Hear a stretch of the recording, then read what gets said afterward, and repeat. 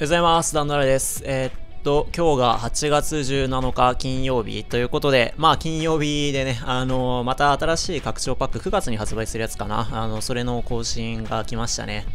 で、えっと、9月に発売するパックなんですけれど、今回はルギアが、あーメインなのかな？超爆インパクトっていう名前なんですけど、これ発売日いつなのかな？ちょっと後で見ときますね。多分9月の第1週だとは思うんですけど、まあいつも通り多分出ると思います。で、パッケージにルギアとズガドーンがいるんですけど、まあおそらくこの2枚が GX ポケモンで収録されて、されているっていうことで、まああのルギアの方が GX ポケモンでね、あのもう今日解禁されてますね。これか。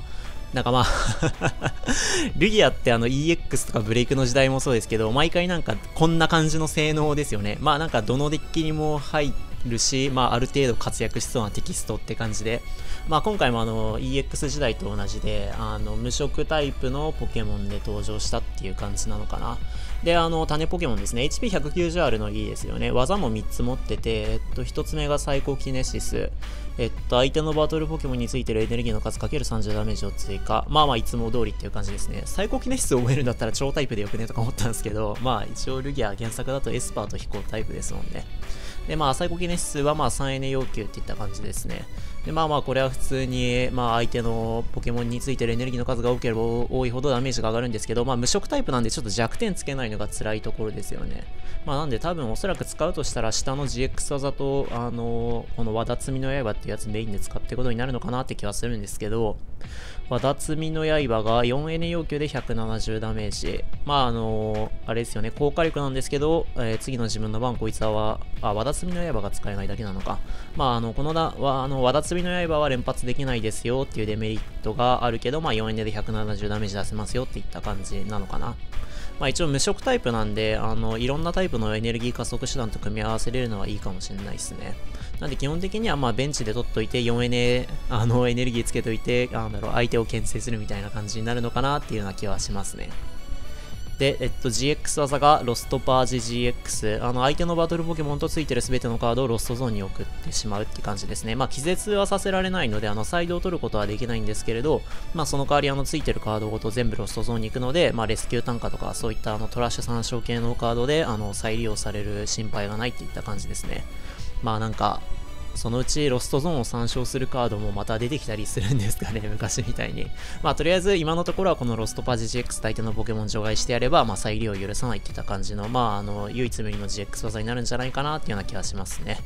で、あと弱点と抵抗力が、等タイプに抵抗力があるので、まあ、あれマッシブンとかルガルガンあたりにちょっと強く出れたりする。まあ、ただその代わり弱点が雷なんで、まあ、ゼラオラとかにあの、フルボルテージ GX のついでに倒されたりするのはちょっと怖いところですよね。はい、あの、ルギア GX のテキストまあこんな感じで、まあ大体どのデッキにも採用できるようなあの優秀な万能ポケモンになるんじゃないかなっていうような印象を受けます。とりあえず今日の更新で公開された GX ポケモンはこれだけですね。ズガドン GX はまた多分今後紹介されていくのかなって気はしてます。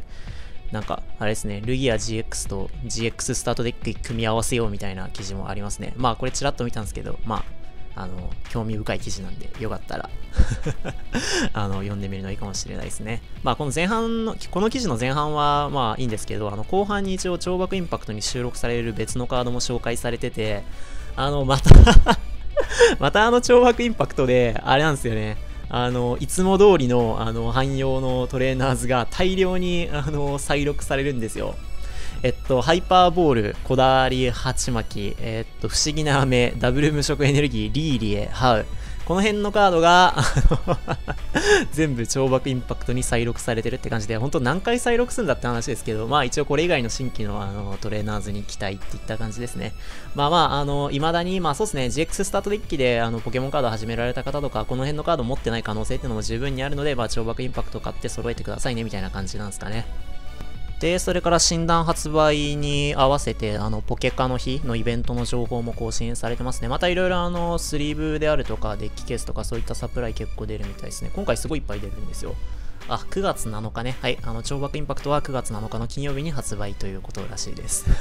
まあ、先にテロップで出してると思いますけど、あの、関連グッズがまた大量に出ますね。あの、とりあえず、まあ、パッケージのルギアのデッキシールドとデッキケースは、えー、ついてきますよ。で、あと、コレクションファイルもまた新しく出るみたいですね。アローラオールスターズということで、あれですね。まあ、アローラの伝説ポケモンが大量に出てる。旧ポケットなんじゃないかな。あの、合わせてリフィルも登場するんで、まあ、おそらくまあ値段からも見るに旧ポケットのコレクションファイルだと思います。これすごいおしゃれですよね。てか、最近旧ポケットの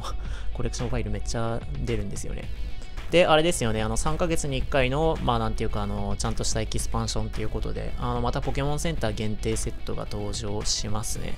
えっと、ちょっと、これ、拡大しますけど、はい。まあ、ポケモンセンター限定セットはあの1万円で買える、えー、っと新弾のボックスが2つついて、それにプラスしてあの、まあ、限定のデッキシールドとかデッキケースがついてくるポケセン限定のセットなんですけど、今回はあれっすね、えっと、アカネとミルタンクのデッキシールドとデッキケースついてくれっていった感じですね。なんかすごい金銀時代のトラウマをえぐる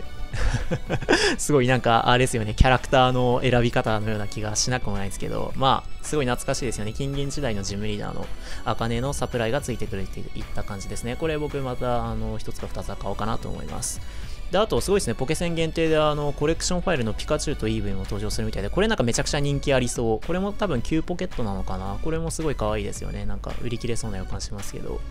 で、あとね、スイクンのデッキシールドも出るんですよね。これかっこいいですよね。これもちょっとあの、まあ、あの、お金に余裕があれば買おうかなと思います。で、あとズガドン。なんかこれミミッキュのデッキシールドとすごいなんか、あれですね、似たようなカードデザインですよね。ズガドンの GX ポケモンも楽しみですよね。で、あとポケモンカードジムでルギアのラバープレイマットと、あとこれすごいですよね、あの、ルザミーネファミリーのデッキシールドも出るんですよ。あの、リーリエ、グラジオ、ルザミーネのスリーブ単体ではそれぞれ結構前に発売してたんですけど、まあ、このデッキシールドで、まあ、3人全員揃って登場っていった感じになるのかなと、このデッキシールドもまあ1個ぐらい欲しいですよね。全員金髪っていうのすごいなんか綺麗ですね。で、あとあれか、あの、ポケカの日、僕これ参加したことないんですけど、あの、じゃんけん大会かなんかでもらえる、えー、ラバープレイマットが9月から、えー、ギラティナに変更になりますよといった感じですね。このギラティナもなんか海外の、あれですよね、海外で先に出てたイラストですよね。めちゃくちゃかっこいいんで、これもな、なんか、機会があったらちょっと参加して狙ってみたいですよね。すごいかっこいいです、これ。